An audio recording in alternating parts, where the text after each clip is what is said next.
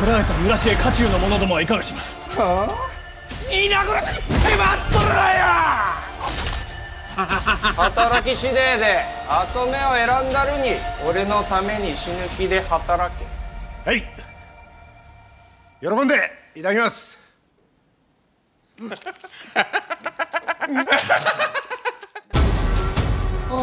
を口にするとは今回の戦は相当信長様も答えられたようですね。ひどい目に遭わされても次の天下を考えて我慢してるんだ。この世の人間全部血祭りにあげたるだろう。信長の跡目候補は貴様秀吉家康と見てるんだ。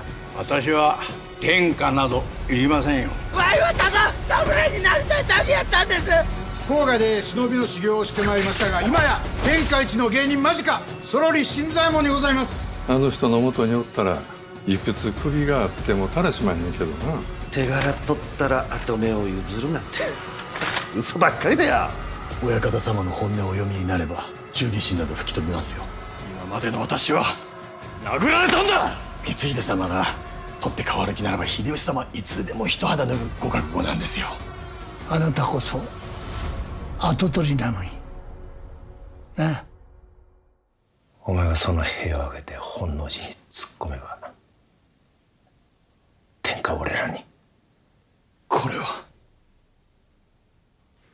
天命だと思うか？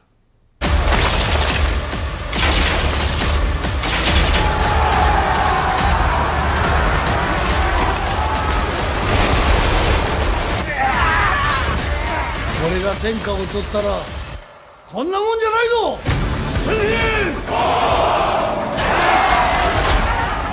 兄者は家康殿の草履取りもします。なんで俺がタヌキの草履取らなきゃいけねえんだ仏の道理があるように侍にも道理があるんです。そげな道理が通るんかい家康を攻めたれ俺とお宮の天下だぞ！